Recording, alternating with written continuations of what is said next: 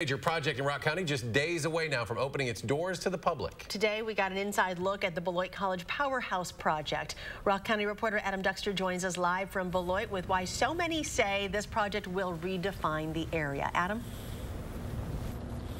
Eric and Charlotte, for the better part of a century, the structure behind me was home to the Alliant Energy power plant. But for the last few years, thanks to millions of dollars in donations and a lot of hard work, it's now very close to beginning its second life. From concept to completion. Fitness space right next to academic space, right next to community space. Workers today putting the finishing touches on what some have called the most forward-looking project in the world.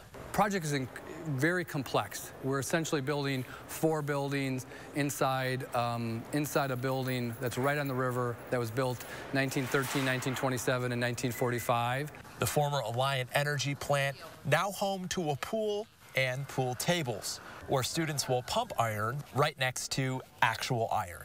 It's something the college hopes will be a real selling point. We expect that prospective students and their families will pay close attention to a college that has devoted this much energy and resources to improving the quality of their experience. But even before opening, the space has already won awards for its forward-thinking designs and sustainability. A project they say is indicative the city is on the rise. Leaders in Beloit would say that if you haven't been to Beloit, now is the time to visit. Uh, the, we've been on a, a trans transformation.